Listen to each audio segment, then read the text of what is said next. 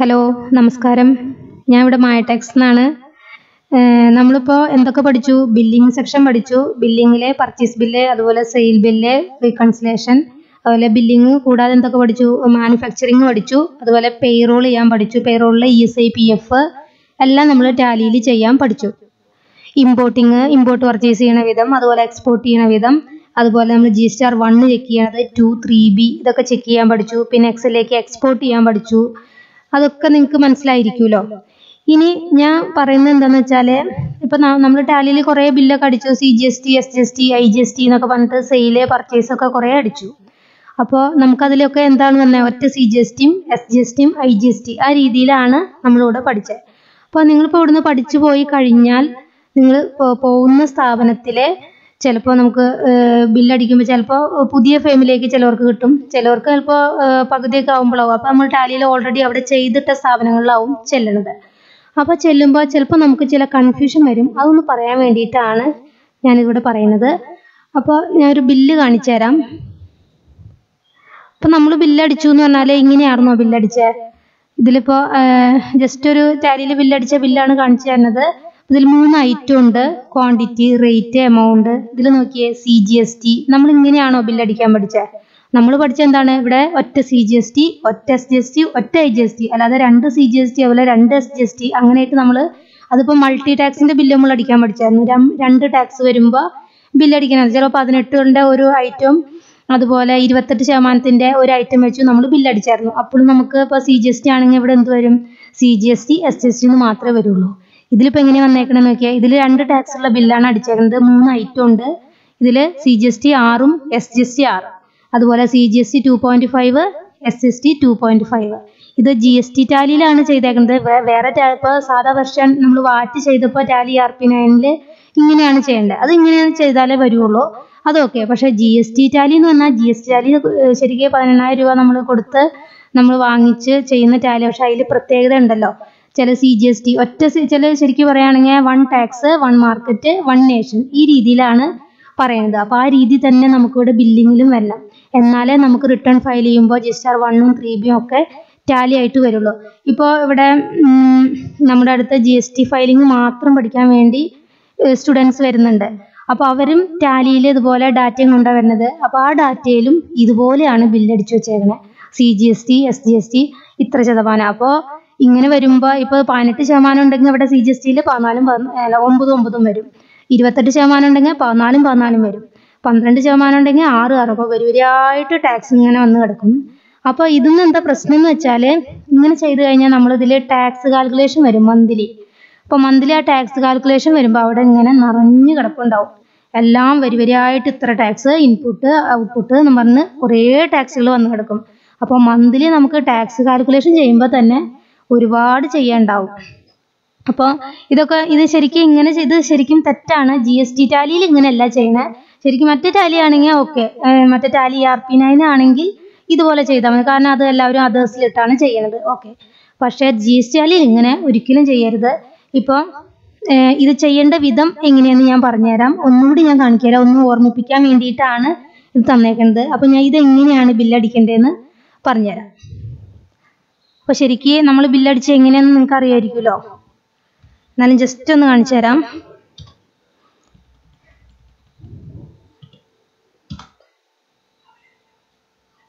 അവർ പഠിച്ചത് എങ്ങനെയെന്ന് ഞാൻ കാണിച്ചു തരാം. അപ്പം നമ്മൾ ജി എസ് ടി ടാലിയാണ് ടാലിയിൽ നമ്മൾ ബില്ലടിക്കുമ്പോൾ അപ്പോൾ സെയിലാവാം പർച്ചേസ് ആവാം അപ്പോൾ നമ്മളിപ്പോൾ ബി ടു ബിയോ അല്ലെങ്കിൽ ബി ടി സി അപ്പോൾ ഞാൻ എക്സാമ്പിൾ ബി ടു സി എടുത്തു. ഏതെങ്കിലും ഒരു പാർട്ടിയുടെ പേരിൽ ഞാൻ ബില്ലടിക്കുകയാണ് അപ്പോൾ ഇത് കേരളത്തെയാണ്. ഒരു ഐറ്റം ഞാനൊരു പാർട്ടിയുടെ പേര് സെലക്ട് ചെയ്തു. സെയിൽസ് ലെഡ്ജറിൽ ലോക്കൽ സെയിൽസ് ആയിട്ട് പതിനെട്ട് എന്ന് കൊടുത്തു. ഇപ്പോൾ അവർ ബില്ലടിക്കുകയാണെങ്കിൽ നമ്മൾ ഇവിടുന്ന് ഇപ്പോൾ ഐറ്റം കൊടുക്കുകയാണെങ്കിൽ example portable D V R കൊടുത്തു. ക്വാണ്ടിറ്റി ഒരെണ്ണം. ഒരു അയ്യായിരം രൂപ എം ആർ പി പറയുകയാണെന്ന് വിചാരിക്കുക. അപ്പോൾ നമ്മൾ ഇവിടുന്ന് ഓൾട്ട് സി അടിച്ചിട്ട് ഇക്വേഷൻ വെച്ച് ചെയ്യുകയാണെങ്കിൽ അയ്യായിരം ഇന്റു ഹൺഡ്രഡ് ഡിവൈഡഡ് ബൈ നൂറ്റി പതിനെട്ട് എന്നടിക്കും പ്രൊഡക്റ്റ് വാല്യൂ കണ്ടുപിടിക്കും. എന്നിട്ട് നമ്മളിവിടെ എന്ത് ചെയ്യണം? സി ജി അപ്പോൾ ഇനി എന്ത് ചെയ്യണം? ഇതിലിവിടെ ടാക്സ് നമ്മൾ ചെയ്യണം. അപ്പോൾ അവർ ചെയ്ത മെത്തേഡ് അവർ മിക്കയിടത്തും നിങ്ങൾ സ്ഥാപനത്തിൽ ചെന്ന് കഴിഞ്ഞാൽ നോക്കിക്കോ നിങ്ങൾ സെയിൽ എടുത്ത് മുൻവശത്തെ സെയിലോ അല്ലെങ്കിൽ ഇപ്പോൾ ഇന്നാണ് നിങ്ങൾ ജോയിൻ ചെയ്യുന്നത് തലേദിവസത്തെ ബില്ലെടുത്ത് നോക്കിയാലും ഇതിലിപ്പോൾ കൊടുത്തേക്കുന്ന രീതി ഇങ്ങനെയായിരിക്കും. അത് നിങ്ങളൊന്ന് പ്രത്യേകം ശ്രദ്ധിക്കണം. സി ജി എസ് ടി ഇപ്പോൾ ഇത് പതിനെട്ട് ശതമാനമാണ് ടാക്സ് അപ്പോൾ ഇവിടെ എത്ര വരും? C G S T at ഒമ്പത് ശതമാനം.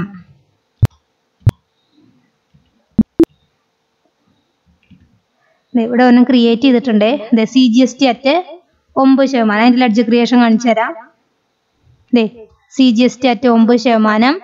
ഡ്യൂട്ടീസ് ആൻഡ് ടാക്സ് ഇവിടെ എന്ത് കൊടുത്തു? അതേഴ്സ് കൊടുത്തു. ശരിക്കും ജി എസ് ടി ടാലിയുടെ ഉപയോഗം എന്തായിരുന്നു? ജി എസ് ടി ടാലി നമ്മൾ ഉപയോഗിച്ച് എന്തിനാ? നമ്മളിപ്പോൾ ജി എസ് ടി എനേബിൾ ആക്കും. ഈ ജി എസ് ടിയിൽ വേണം ചെയ്യാൻ. പക്ഷേ മിക്ക പിന്നെ ഇവിടെ എന്ത് കൊടുക്കണം? സി ജി എസ് ടി എന്നുള്ളത് central tax C for central tax എന്ന് കൊടുക്കണം. ഇവിടെ ഒന്നും കൊടുക്കേണ്ട ആവശ്യമില്ല. ഏഹ് ശരിക്കും ഇതാണ് നമ്മൾ ശരിക്കും ചെയ്യേണ്ടത്. പക്ഷേ ഇവിടെ എന്ത് ചെയ്യും? ഇവർ സി ജി എസ് ടി അറ്റേ ഒമ്പത് ശതമാനം എന്ന് അവിടെ കൊടുത്തിട്ട് ഇവിടെ ഈ ജി എസ് ടി അങ്ങോട്ട് ഇടില്ല. അതേഴ്സ് കൊടുക്കും അതിന് പകരം. അപ്പൊ എന്താ ഗുണം എന്ന് വെച്ചാൽ ഇവിടെ നമ്മൾ ഒമ്പത് ശതമാനം ഇവിടെ അടിക്കുമ്പോൾ ഓട്ടോമാറ്റിക് ആയിട്ട് കാൽക്കുലേഷൻ അവിടെ വരും. ഇത് ശരിക്കും പഴയ ടാലിയുടെ രീതിയാണ് ഇവിടെ ചെയ്യണത്.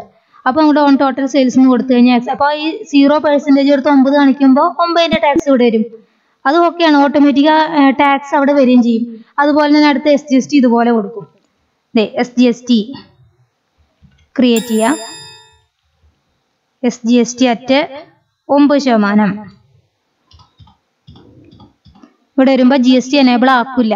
അത് കാരണം അത് അവർക്ക് അറിയില്ല. അതുകൊണ്ടാണ് അപ്പൊ ജി എസ് ടിയുടെ ടാലിയാണ് നിങ്ങളുടെ കയ്യിലെങ്കിൽ ഇങ്ങനെ ചെയ്യരുത്. അപ്പൊ ഞാൻ രണ്ടാമത്തെ രീതിയിൽ പറഞ്ഞുതരാം. ഇതൊന്ന് ഞാൻ ചെയ്ത് കാണിക്കാം. അവർ ചെയ്യണ മെത്തേഡ് ഇങ്ങനെയായിരിക്കും. അതേഴ്സ് എടുക്കും. എന്നിട്ട് ഇവിടെ ഒമ്പത് ശതമാനം കൂടി ഇട്ട് കൊടുക്കും.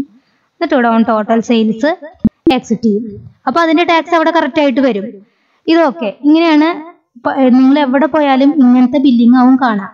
അപ്പോൾ എന്ത് ചെയ്യണം വെച്ചാൽ ഇത് നിങ്ങൾ ഇങ്ങനെ ഇത് തെറ്റാണ് ശരിക്കും ജി എസ് ടിയുടെ ടാലിയിൽ ഇങ്ങനെ ചെയ്യരുത്. കാരണം ഇങ്ങനെ സി ജി എസ് ടി ഒമ്പത് എസ് ജി എസ് ടി ഒമ്പത് പിന്നെ മൾട്ടി ടാക്സ് ആണെങ്കിൽ പതിനെട്ട് ഇരുപത്തെട്ട് ഉണ്ടെങ്കിൽ വീണ്ടും അതിന്റെ താഴെ സി ജി എസ് ടി പതിനാല് എസ് ജി എസ് ടി പതിനാല് അങ്ങനെ വന്നുകൊണ്ടിരിക്കും.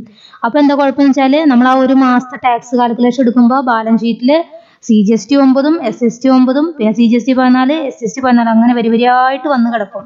അപ്പോൾ നമുക്ക് ആ ടാക്സ് കാൽക്കുലേഷൻ ചെയ്യാൻ മാത്രമേ സമയം ഉണ്ടാവുള്ളൂ അപ്പോൾ അതുകൊണ്ട് ഇങ്ങനെ ആരും ചെയ്യരുത് ഇത് തെറ്റാണ്. അപ്പോൾ ഞാൻ നമ്മുടെ രീതി ഞാൻ പറഞ്ഞുതരാം. എന്നിട്ട് എന്ത് ചെയ്യണം? നമുക്ക് സി ജി എസ് ടി മാത്രം മതി. ഈ ഒൻപത് പതിനെട്ട് അല്ലെങ്കിൽ പതിനാല് അല്ലെങ്കിൽ ആറ് അങ്ങനെയുള്ള ടാക്സ് സെറ്റ് എന്നുള്ള ഒരു ഇതും വേണ്ട അതേഴ്സും നമുക്ക് വേണ്ട. വെറും നമ്മൾ ഈ സി ജി എസ് ടി മാത്രം കൊടുത്താൽ മതി. അത് എന്തുകൊണ്ടാണ്? നമ്മൾ ഓൾറെഡി ഈ ലെഡ്ജറിൽ നമ്മൾ ടാക്സ് കൊടുത്തിട്ടുണ്ട്. അപ്പോൾ നമ്മൾ ലെഡ്ജർ എടുക്കുകയാണെങ്കിൽ കൺട്രോൾ എന്റർ അടിച്ചു.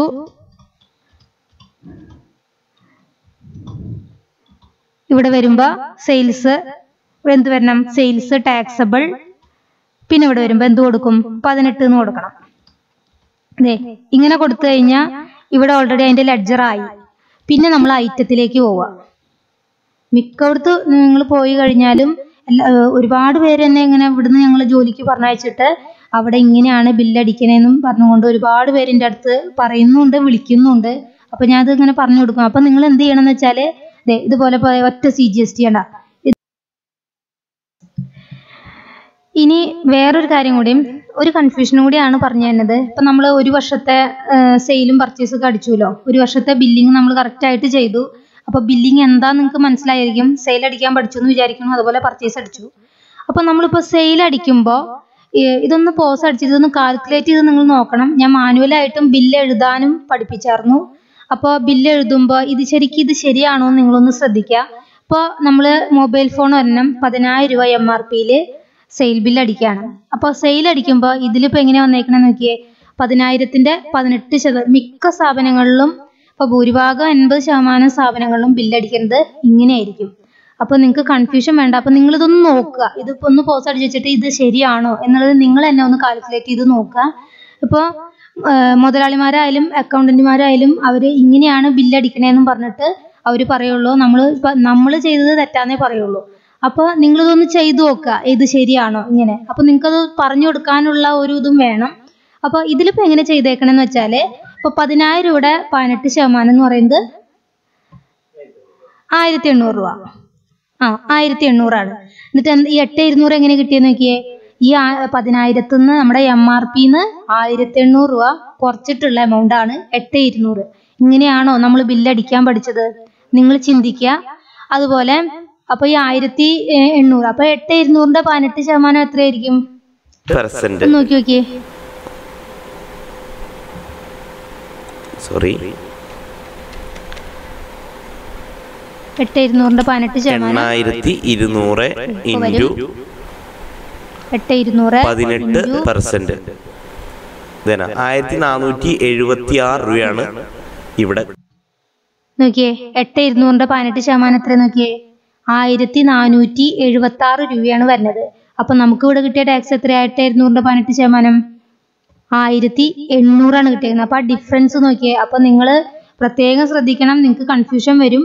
അപ്പോൾ ജി ഇങ്ങനെ അടിച്ചു കഴിഞ്ഞാൽ എന്താ കുഴപ്പമെന്ന് വെച്ചാൽ നമ്മൾ ഈ പതിനായിരം എം ആർ പിയിൽ ഇപ്പോൾ പതിനെട്ട് ശതമാനം ആയിരത്തി എണ്ണൂറും എന്നിട്ട് ഇതിന്ന് എം ആർ പി കുറച്ചിട്ടുള്ള എമൗണ്ട് ആണ് എട്ട് ഇരുന്നൂറ് എഴുതിയേക്കണേ. നമ്മൾ ജി എസ് ടിയുടെ ഫയൽ ചെയ്യുമ്പോൾ അവിടെ നമ്മുടെ ടാക്സ് വരുമ്പോൾ ഈ എട്ട് ഇരുന്നൂറ് നമ്മൾ പ്രൊഡക്റ്റ് വാല്യൂ കാണിച്ചാൽ നമ്മുടെ ജി എസ് ടിയുടെ ജി എസ് ടിയുടെ സൈറ്റിൽ ഓട്ടോമാറ്റിക്കാണ് ടാക്സ് വരുന്നത് നമ്മുടെ ജി എസ് ടിയുടെ ബില്ലിങ്ങിൽ ചെയ്ത പോലെ തന്നെ എട്ട് ഇരുന്നൂറിന്റെ പതിനെട്ട് ശതമാനം എന്ന് പറയുന്നത് ആയിരത്തി നാനൂറ്റി എഴുപത്തി ആറ് രൂപ എന്നുള്ളത് ഓട്ടോമാറ്റിക്കായിട്ട് വരും. അതെങ്ങനെയാണ് വരുന്നതെന്ന് ഞാൻ കാണിച്ചു തരാം നമുക്ക് ജി എസ് ടിയുടെ സൈറ്റിൽ വരുമ്പോൾ എങ്ങനെയാണ് ഇതിന്റെ കാൽക്കുലേഷൻ വരുന്നത്? തെറ്റെങ്ങനെ ശരി എന്ത് നമുക്ക് നോക്കാം. അപ്പോൾ ഞാൻ ഇപ്പോൾ എക്സാമ്പിൾ പതിനായിരത്തിന്റെ എം ആർ പി വാല്യൂ വെച്ച് പന്ത്രണ്ട് ശതമാനത്തിന്റെ ടാക്സിലാണ് ഞാൻ ഇപ്പോൾ ഇവിടെ കാണിച്ചു തരുന്നത് എക്സാമ്പിൾ അപ്പോൾ അതിൽ അവർ കൊടുത്തേക്കുന്ന ബില്ല് പറയുമ്പോൾ എട്ട് പതിനായിരത്തിന്റെ പന്ത്രണ്ട് ശതമാനം എന്ന് പറയുന്നത് ആയിരത്തി ഇരുന്നൂറ് എന്നിട്ട് ആ ഈ പതിനായിരത്തിന് ആയിരത്തി ഇരുന്നൂറ് കുറച്ച് എമൗണ്ട് ആണ് പ്രൊഡക്റ്റ് വാല്യൂ ആയിട്ട് കാണിച്ചേക്കുന്നത് പക്ഷെ നമുക്ക് സെയിൽ ബില്ല് നമ്മൾ ബില്ല് അടിക്കുമ്പോൾ നമുക്ക് കിട്ടുന്ന പ്രൊഡക്റ്റ് വാല്യൂ എന്ന് പറയുന്നത് എത്രയാണ്? പതിനായിരത്തിന്റെ ഏഹ് പതിനായിരത്തിന് നമ്മൾ ഇക്വേഷൻ വെച്ച് ബില്ല് അടിക്കുമ്പോൾ എത്രയാണ്? എണ്ണായിരത്തി തൊള്ളായിരത്തി ഇരുപത്തെട്ട് പോയിന്റ് അഞ്ച് ഏഴും അതിന്റെ പന്ത്രണ്ട് ശതമാനം എന്ന് പറയുന്നത് ആയിരത്തി എഴുപത്തി ഒന്ന് പോയിന്റ് നാല് മൂന്നാണ്. അപ്പൊ നമുക്കത് സൈറ്റിൽ എങ്ങനെ കിട്ടണമെന്നുള്ളത് നോക്കാം. സി എസിന്റെ ഒരു ബില്ലാണ് അപ്പൊ അതെ സൈറ്റിലെ ഒരു ബി ടു സി എസിന്റെ ഒരു ബില്ലാണ് കർണാടകയ്ക്കാണ് സെയിൽ വരുന്നത്. അപ്പോൾ അതിൽ അവർക്ക് കിട്ടിയ വാല്യൂ എട്ട് എണ്ണൂറ്. പ്രൊഡക്റ്റിന്റെ വാല്യൂ എന്ന് പറയുന്നത് അവർ ബില്ലടിച്ചപ്പോൾ എട്ട് എണ്ണൂറ്. എന്ന് വെച്ചാൽ പതിനായിരത്തിന്റെ പന്ത്രണ്ട് ശതമാനം ആയിരത്തി ഇരുന്നൂറ്. ആ പതിനാ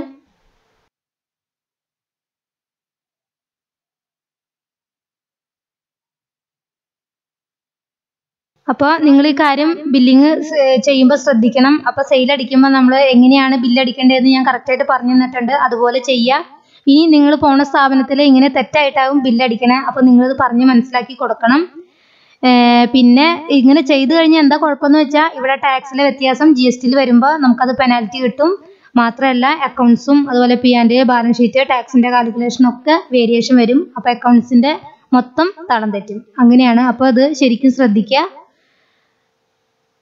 ഓക്കെ അപ്പോൾ ഇത്രേ ഉള്ളൂ. ഇനി എന്തെങ്കിലും ഡൗട്ട് ഉണ്ടെങ്കിൽ ഈ പറഞ്ഞ പോലെ ജോലിക്ക് കയറി കഴിഞ്ഞാൽ ഇങ്ങനത്തെ വല്ല മിസ്റ്റേക്കുകളും വരാം. അപ്പോൾ വന്നിട്ടുണ്ടെങ്കിൽ എന്നെ വിളിച്ചാൽ മതി. അപ്പോൾ ഞാൻ ഡീറ്റെയിൽ ആയിട്ട് പറഞ്ഞുതരാം. Okay thank